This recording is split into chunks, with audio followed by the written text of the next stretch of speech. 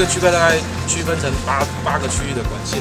那现在这个黄色就是我们已经做好主次干管的管线，全期的管线我们已经完成了百分之五十。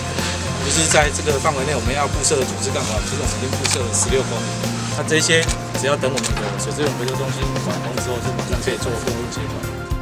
今天呢，我们特别来看台东市的水资源回收中心。目前我们整个台东市的污水下水道系统是分三期来施作，第一期已经接近完工，将近有两千户的居民呢，在我们水资源回收中心列为就会完工之后呢，就会进行接管。水资源的回收以及污水下水道的接管，在台东市三期完成，再加上资本的系统，大概全台东县的污水下水道会达到三成左右。那当然我们不会因此而满足，这是一条漫长的路，但是为了要迈向我们现代生活，台东县会继续努力，让我们呃继续来完成这样子的一个系统的建制。